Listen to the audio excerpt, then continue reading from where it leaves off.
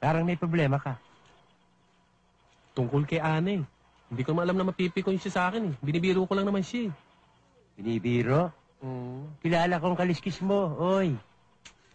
Bihira ka naman. oh. Ang palagay mo sa akin, manyak. Eh ano pa? Pati nga bulag pinagsasamantalahan mo eh. Kaya nagalit sa'yo eh. Sige na, sige na. Tama na yan. Bogi, tulungan mo naman ako. Umisip ka naman ng parang para mapatawad ako ni Ana. Tulungan kita? Oo. Ikaw lang nagpasarap eh. Ikaw lang bumuhat eh. Kaya problema, sasama mo ako. Hindi kita matutulungan. Suluhin mo yan. Bahala ka sa buhay mo. Ginusto mo yan eh. Nagpasarap ka eh. Naidadamay mo ako sa hirap. Kalokohan yan.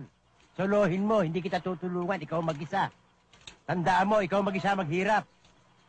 Pambihira naman buhay ito. oh. Sino kayang tutulong sa akin? Ikaw naman, oo. Sino pa ba naman ang tutulong sa'yo kung di ako? Tayo lang ang magkasangga eh. Naintindihan mo ba? Tandaan mo yan, pati buhay ko, ibibigay ko sa'yo. Tandaan mo yan, maligtas ka lang sa kahihiyan. Tandaan mo yan.